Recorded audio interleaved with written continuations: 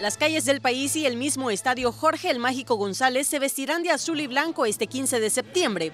El ejército, Fuerza Aérea y Naval darán lo mejor de sí para deleitar a niños, jóvenes y adultos.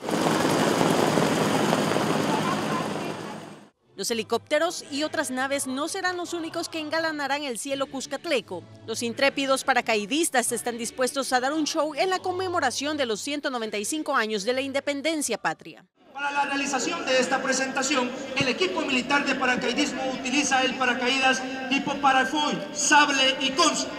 Los que se caracterizan por ser paracaídas de mucha precisión.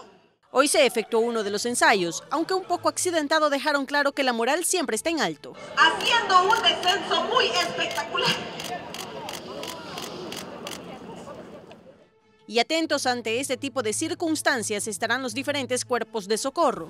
Nuestras autoridades nos han encomendado eh, todas estas prácticas que hemos tenido previas al evento y estar disponibles en cualquier momento, en cualquier emergencia. Hemos tenido eh, prácticamente tres semanas de entreno y estamos listos para cualquier eventualidad que se nos presente. Pero ellos también participarán y apoyarán a la Fuerza Armada en algunas destrezas. Más que todo esta vez va a ser de evacuación, ¿verdad? Va a ser de evacuación, la cual pues también este, se va a hacer una evacuación aérea, ¿verdad? Y este, eh, posteriormente pues hacer una estabilización de cada una de las víctimas, eh, con la compañía pues este, obviamente de, los compañeros de, de, la Fuerza Armada. Y tenemos asignado ahorita eh, una operación que es de aerotransportados y venimos a auxiliar a las víctimas del evento que se va a dar acá. El jueves 15 de septiembre usted también podrá apreciar el desfile estudiantil y el de la policía que por supuesto prometen dar sorpresas.